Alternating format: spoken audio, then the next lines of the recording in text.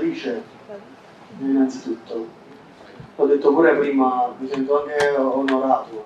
Uh, penso che qua dentro io non posso insegnare niente a nessuno, anzi non posso imparare qualcosa a uno. Scoccio, lei stai seduto, sott'acqua me la seduto. Vai, vai, vai, vai. Così l'ascoltano, l'ascoltano tutti. Sì, ma non posso, non lo faccio. No, fate, non lo so, non lo voglio conoscere. Diceva che è fidanzata, eh? Piacere, va. Volevo dire che tu hai detto che il tuo più grande rimpianto è non aver studiato perché sei, no, stanno esagerando. Perché Mi stanno filmando altri mille. Vabbè, allora, questo c'è niente. Vabbè, comunque, Mi sono le spalle. eh. non, non avendo il è non aver studiato perché senti che non avendo studiato non riesci a esprimere pienamente te stesso. Il napoletano è una lingua pesante. Se io ti dico amore, finisce là, se ti dico amore, generoso, capito? Eh, si è più forte perché noi viviamo alla periferia, quindi abbiamo fame. Non ce l'hanno tutti questa cosa. Quindi perciò forse a volte hanno paura di noi che veniamo dalla periferia, capito? Perché a me non ci ha regalato niente.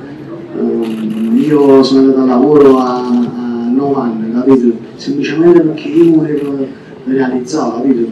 Quindi mm, noi abbiamo, a volte si pensa che veni- venire dalla periferia è un punto di svantaggio. Io non ci vedo nessuno svantaggio, anzi è tutto un vantaggio, perché mm, noi ce l'abbiamo qua, capito, negli occhi, la fame, e non ce l'hanno tutti. Questo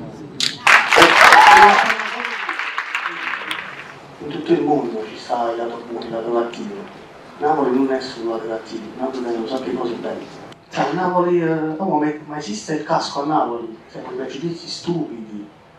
Eh, quando poi eh, io vedevo che le persone, cioè i rapper, a Napoli non indossavano l'orologio, ma lo indossavano da un'altra parte.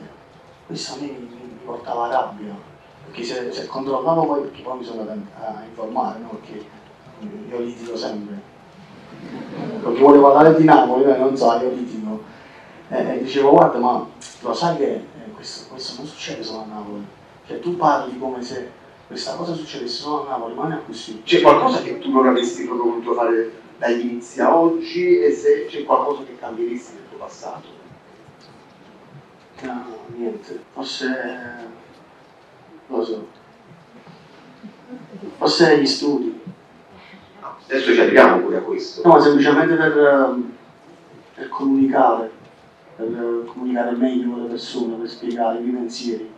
All'inizio è stato difficile, ma lo so che le prime interviste eh, avevo paura di parlare, perché ero, ero un ragazzo rionale, sono ancora un ragazzo rionale, però lei era proprio rionale, però...